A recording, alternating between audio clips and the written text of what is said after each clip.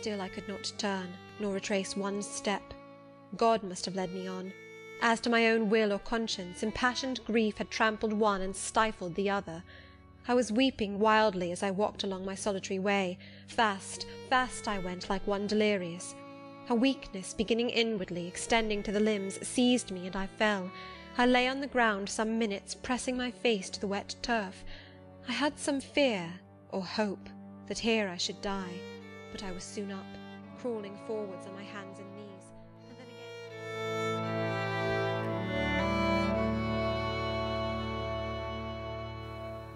Jane Eyre, written by Charlotte Bronte and published in 1847, is still regarded as one of the great books of the literary canon and has garnered many screen adaptations, three of which were played in the introduction to this video.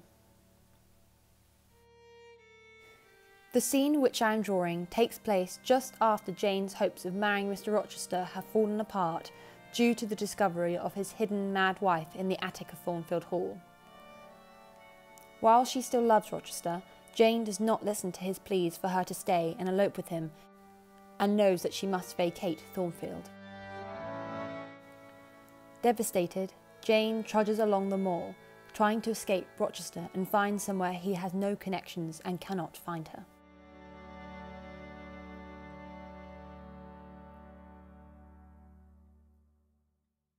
Taking inspiration from the artist St Marlowe Lune, who creates story-like illustrations often with textual writing, I included a quote from chapter 27 of Jane Eyre.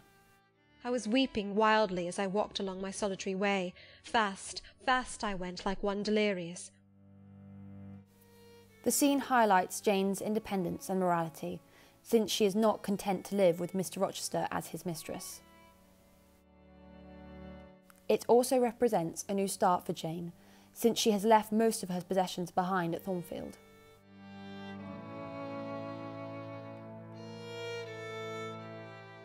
I'm using gouache and a Canson sketchbook to create my piece, which takes reference from a photo from the 2006 TV version of Jane Eyre.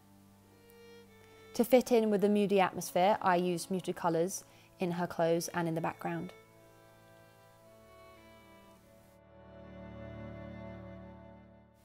We see Jane tired and delirious from her walk through the moors, emotionally exhausted.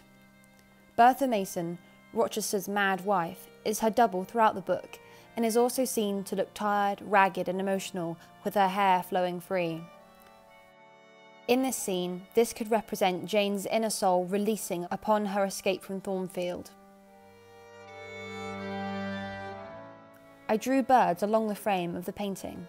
The bird motif is used throughout the novel, uh, with one famous quote being, I am no bird and no net ensnares me. It seems to represent Jane and freedom, and in this chapter is referenced in relation to love. I actually found this painting pretty tough to do. Whenever I start out with a sketch I really like, I know that my painting won't end up quite as nice. This happens also vice versa. If I start out with a sketch I don't like, I tend to prefer the final painting of it. Later on, I ended up redoing the face, so I thought it was a little bit improved.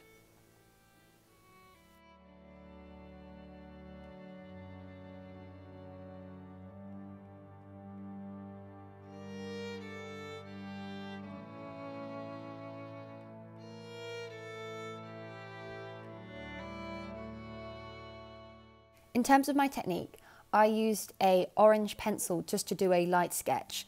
And when I started with the gouache, I did watercolour-like washes to establish colours and tones.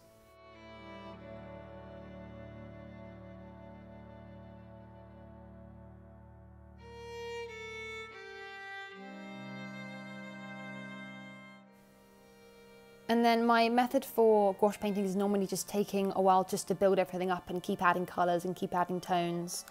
Um, so that's what I'm doing here.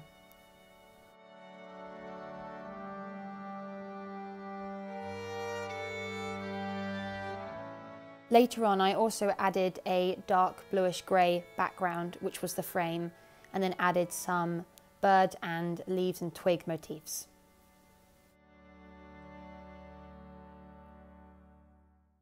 And we'll finish with the full passage at the end of chapter 27 from Jane Eyre. Birds were faithful to their mates, birds were emblems of love. What was I? In the midst of my pain of heart and frantic effort of principle, I abhorred myself. I had no solace from self approbation, none even from self respect. I had injured, wounded, left my master.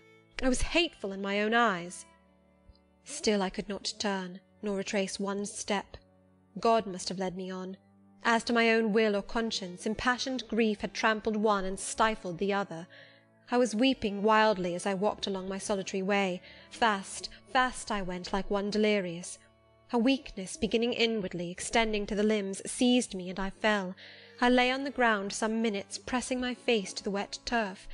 I had some fear, or hope, that here I should die; but I was soon up, crawling forwards on my hands and knees, and then again raised to my feet, as eager and as determined as ever to reach the road. When I got there, I was forced to sit to rest me under a hedge, and while I sat, I heard wheels and saw a coach come on. I stood up and lifted my hand; it stopped.